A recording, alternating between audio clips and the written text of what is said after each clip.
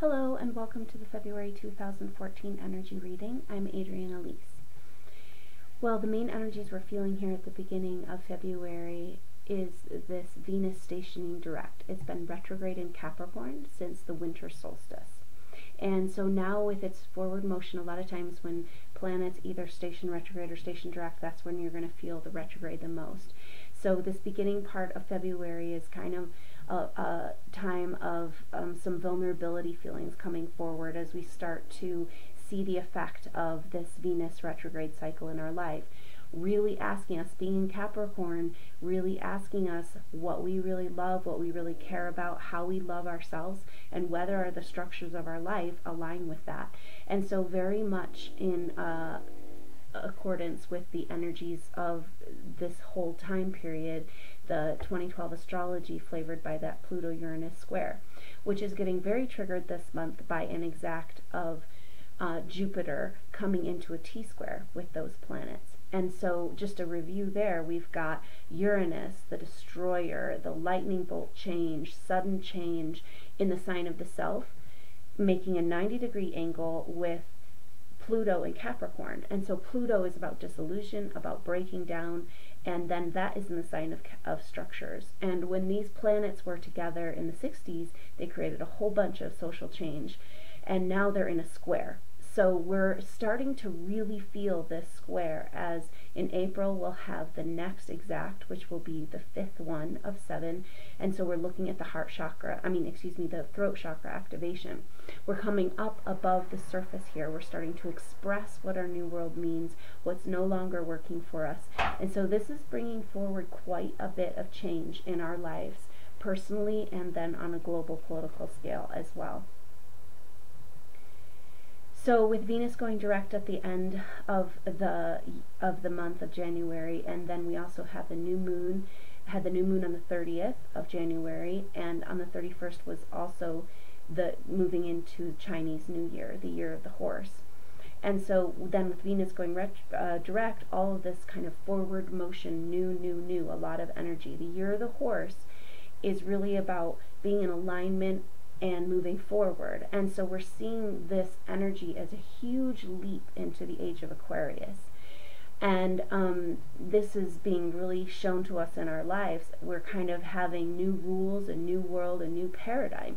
But in order to bring in the new, we've got to make sure we've gotten rid of the old. And this spring is really about that because we have this Venus retrograde, and then right after Venus goes direct, uh, Mercury goes retrograde on February 6th and then right after that goes direct at the end of February. Mars goes retrograde until May. And so all of these personal planets kind of like what does it mean to us to move into this new world, this new age of Aquarius and we really are learning to play by some different rules. All this new, new newness is bringing some real new energies to the planet. DNA, light code activations, ascension energies, and um, so this can be, we're having just a lot of, a huge influx of energies in this month of February. Um, and this has been going on since the beginning of the year. And so these energies are something that we need to get used to. And so this Mercury retrograde is going to be, um, that starts on the 6th of February and goes until the end of the month, is going to be a great opportunity for us to kind of uh, slow down and uh, assimilate to some of these changes in our lives and in our physical body as this light is coming in. Now that's really highlighted because Mercury is going retrograde in Pisces, but then going back into Aquarius. And the shift of ages that happen they go backwards because it's like the background of our sky is moving. That's the shift of ages, and that's the opposite direction than we see the planets move through the signs.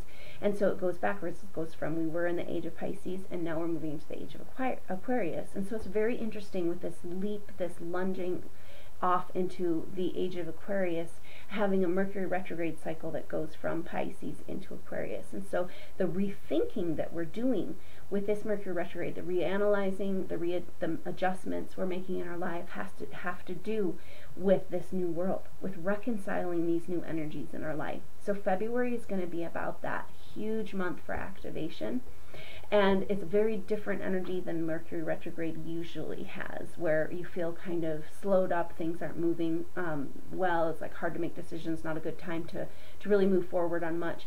There is going to be forward motion here because of all this new energy, but it's also about learning to make micro adjustments. So if you're shifting so fast, you can't necessarily keep following the same path you've got to shift the path. And that really fits the energy of the horse because the horse is just kind of barreling down uh, the pathway. If there's an obstruction there, um, if it could easily get over it, it will. But if it's in the way, it's going to find another path. It just wants to keep going.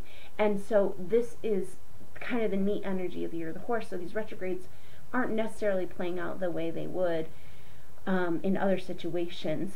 And so this Mercury retrograde is just a really good opportunity to step back and make micro adjustments along your way because you're shifting so much that you've got to let your world uh, shift to that, uh, adjust to that as well.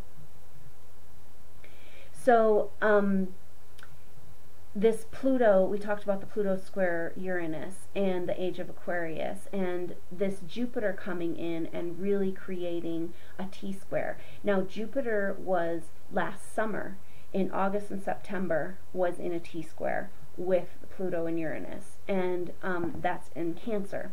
And so we were really feeling that energy there. But that was when Jupiter was going direct. Now it went retrograde in November, and now it's going back into the T square, but in a in a in a backwards motion. And so that has this real kind of wait a minute, wait a minute, did I get this lesson? Did I get this understanding? And we have Jupiter in Cancer is about this wider view, this coming home to ourselves as cosmic beings. Uh, what does it mean to be home in the cosmos and the Earth coming into its awareness um, of its place in the in the in the omniverse? And that is a lot of these new energies and the lining up of things in our life. Um, and so, what's not working, what's not lining up, that's part of the energy of this year, the horse. It's not like the year of the snake where we had to sit there and try to figure out and wonder and worry about whether things were good or not or if we are on the right path. The year of the horse is very different. It's like, okay, is it lining up with my soul purpose, what I really care about, or is it not? Is it resonant or is it not? And um, so there's just not a lot of gray area. And it's going to be a lot easier to leave behind what no longer serves you. And so just keep that in mind as you go through these adjustments over these next few months as we get these new energies and have these retrograde planets to um, kind of assist us in reevaluating our life. And um, so the Jupiter went back into the T square with these planets at the end of December. And so we'll be there for a few months, but the exact of that Jupiter T square is on the 25th of February. So we're really feeling that this month, a real trigger of these squaring planets and really starting to bring to the surface what these changes mean. We've had some major fundamental changes behind the scenes in our personal life, in our psyche, um, behind the closed doors of government bodies. Um, people have been being replaced and new energies are coming in. And so we're going to start seeing this as uh, this year goes on of these outward expressions of what it means to be in the age of Aquarius and what it means to let fall away what no longer serves us because we have this Uranus lightning fast change in the sign of the self and we have Pluto the sign of dissolution and destruction um, square to that in the sign in the sign of our structures and so it's just the breaking down of what no longer serves us. And is that our physical body, the way we do things in our physical body? Is it our relationships? Is it our work life, our career? Is it on a global financial scale? So all this is starting to shake down and change. And um, this energy is a little disconcerting. And so there is a lot of fear right now. But when I really examined the fear that's going on for people, really asking in my life these people what what what are they really scared of that I'm seeing this fear energy? And it always comes down to oh gosh you know I can't decide whether I should stay in this job or not or whether I should try to make a move or is this relationship serving me? And so the the fear is around change. And so it's really kind of interesting because there's a little bit of energy towards with all this tumultuous change energy going on under the surface like those tectonic plates there's kind of a fear of earth changes and dr- dramatic effects on the planet um, but some interesting concept that's come forward for me in the last couple years is that the earth changes that we're looking for that we have been told about we're taking those are taking place in our body in the earth part of us so we're making these changes so that it's more harmonious on the planet.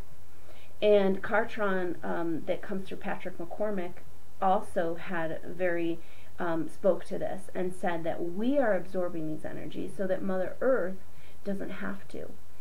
And so that fear of change, it's kind of like the new paradigm, the new world, the new rules. And one of the things that is very different is that change the the staying the same, being in conformity used to make you feel safe or that was how what the programming says that's how we say stay safe we're going to stay where we are we're not going to make any changes we're going to batten down the hatch and everything will be fine we'll just weather the storm well this this storm it's kind of like you want to just kind of get out there and let the wind just blow all your clothes off because that's kind of what's going on here. It is no longer safe not to change.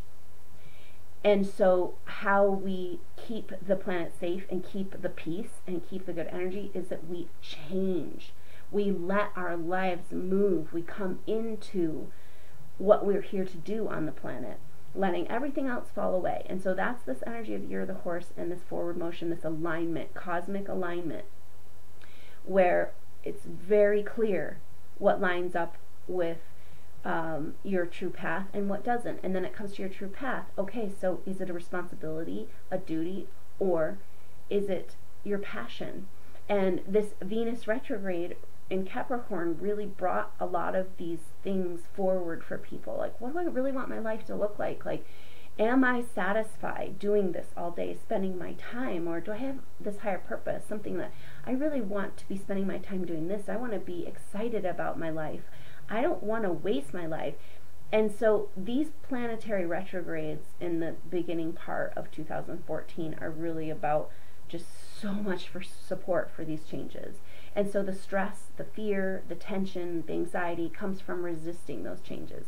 So if there's anything in your life that you have been holding off on, holding on to, now is the time to let it go. And you've got support for that. So um, it's pretty exciting time, really. But I had a client ask, tell me about this anxiety feeling. Like she felt like something was about to happen. She said something big is about to happen. And it seemed like maybe, you know, her body and her energy, the anxiety was like maybe like there was going to be some kind of natural, uh, some kind of uh, earthquake or something like that.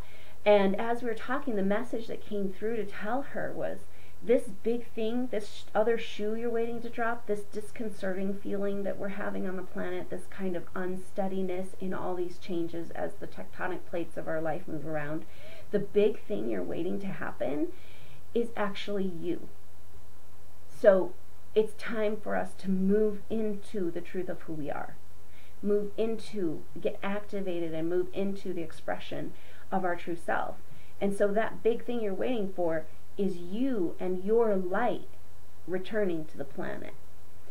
And you can come into your light and you can save the world too as you absorb these frequencies in your body. So just let it happen. Let the wind blow everything away that's no longer serving you. And just throughout it all, staying in the peace the horse we talked about has got this desire to just run forward and just make a move and um, this impatience but it also can rest in the field and be connected with the oneness by the creek and the peaceful energy of um, just being at one in uh, connected with, the connectedness with nature that meditative state that's really important for this year that's the antidote for all of this anxiety and um, for the fear of change and and for this impatience of getting forward, moving forward with our life. And so the full moon is on the 14th on Valentine's Day, so um, it's a very special full moon in Leo. And um, so that's Leo's about expression.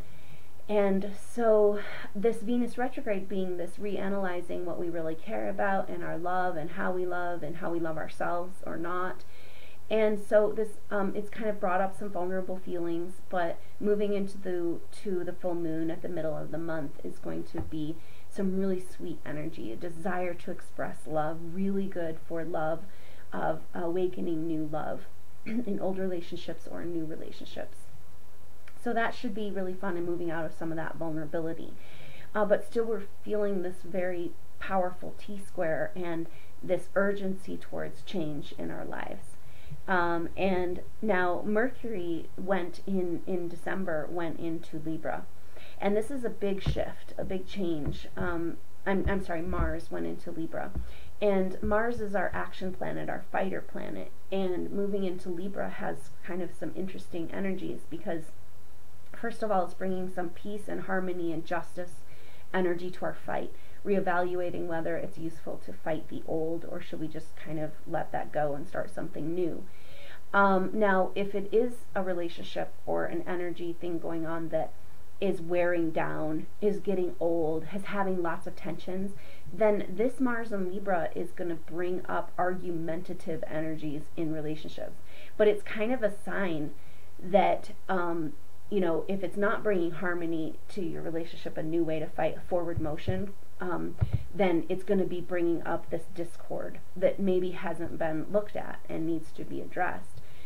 So, um, definitely, uh, the place of our personal relationships is going to be where we're working out a lot of this stuff about how to move forward in our new world. Now, people change and they're shifting so dramatically. So within relationships, that might mean that one person is moving very fast and the other is going a different direction or whatever. And so that's part of the micro adjustments we need to make is to be willing to make these changes, to let go of the institutions in our life that aren't ready to be fluid, that aren't ready to support us in our full radiance. And so just this this spring is the time it's going to be just so clear and so supported to make these changes. Um, so on the 18th, the sun moves into Pisces, and that is going to be a shift. This activation period is going to be kind of mellowing out a little bit. Um, this sun in Aquarius is really kind of shooting us with all this kind of Aquarian energy of the new world, um, new awareness, new light codes, and everything. And so that's going to kind of ease off a little bit. Um, but the spring being intense with that Venus retrograde and then the Mercury retrograde and then the Mars retrograde, and that's not going to resolve until Mars goes direct in May. And so in May, we're going to be able to come up for air. and um, also, Jupiter moves out of the square in May. So this T square kind of goes on this whole spring really intensely, pushing us to see ourselves in a new way pushing us to make the changes to become cosmic beings and to have a new awareness of our world.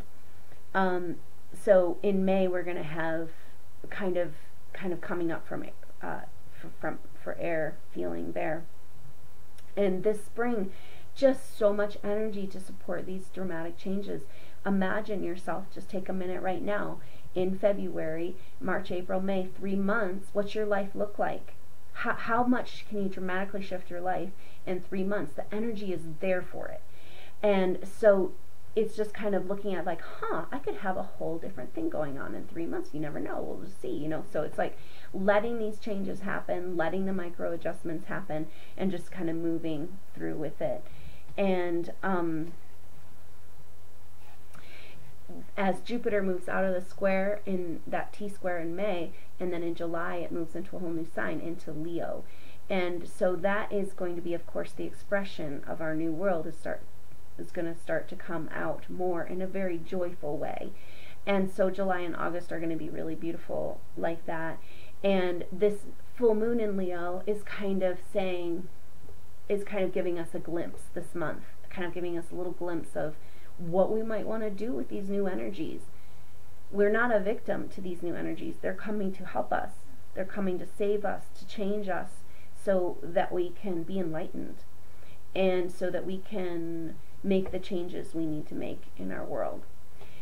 so best of luck to you with all of that and i appreciate you um, listening to the report and showing up and, and letting your light come in and i have some classes to help with this right now you can check out i have going on uh, leadership and abundance training and then march 1st i'll be starting landing your soul purpose and these are 10 week teleseminar series and they're available by session or with the whole 10 weeks and they're recorded for you to listen to if you can't make it to the live class so I would love to have you take part in that if that resonates. I'm also available for private readings. These are aura readings looking at past lives and energies that can be shifted and uh, moved in your space that can help you harmonize your process. So you can check out all that at intuitiveempowerment.com and I will put links below. And I wish you the best on your journey. Namaste.